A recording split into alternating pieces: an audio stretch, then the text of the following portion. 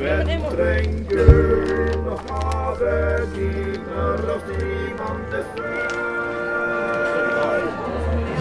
Hvem trenger diamanter? Hvem trenger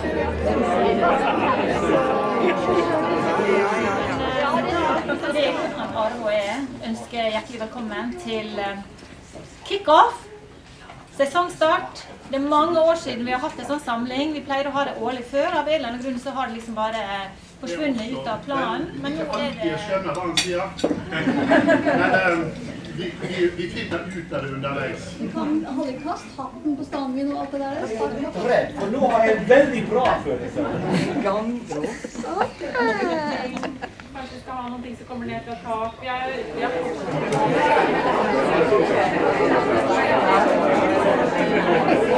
Vi har kjørt så masse møter, for å si det slik. Vi har bare bygd fritt og funnet former. Nei, det er som alltid. Skal det være, skal det være høyde Skal det være høydeforskjell her?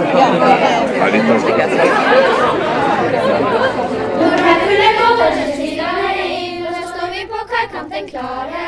Så når det kommer inn til ein så stinn og så full ut av sinn,